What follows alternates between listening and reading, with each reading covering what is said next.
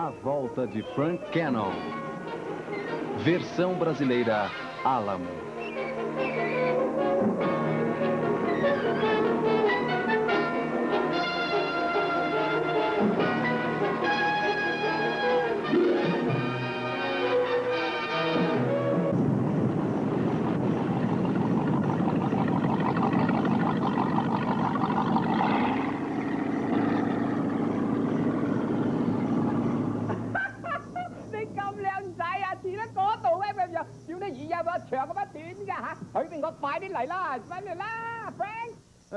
Você tem toda a razão, Yutong. Como se saiu hoje, Frank? Ah, o salmão acabou, mas foi tudo bem.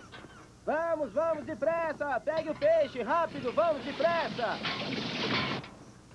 Risque o salmão e escreva bacalhau no cardápio, certo, Yutong? olha, vamos fazer um pouco cozido e o resto soteia. Não, não, vamos grelhar a maior parte e fazer postas com o resto. Aliás, eu vou grelhar um pouco agora mesmo e você faz o resto. Ei, certo? ei, ei, chefe. Sim? Não estou sendo pago apenas para fazer enchilada, sabia? Sabe, Yutang, quando me aposentei, comprei este restaurante porque nunca consegui que fizessem meu peixe como eu gosto. Bem, hoje eu vou preparar o meu almoço aqui como eu quero e agora. É, Minha mãe disse que eu seria um cozinheiro de salada. Sr. Cannon? Sim? Alguém quer vê-lo? É, depois do almoço. Ele é uma graça. O nome é Bingham. Disse que conhece o senhor. Bingham?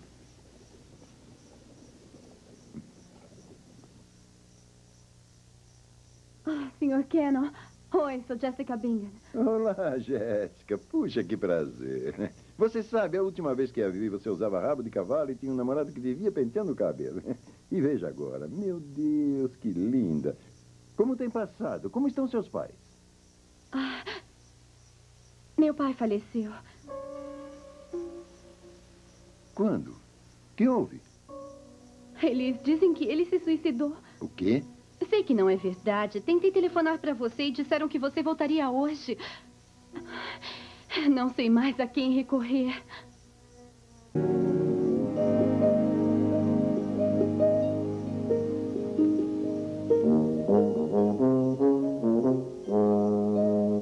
Arquivo X, produção vencedora do prêmio Golden Globe de melhor série.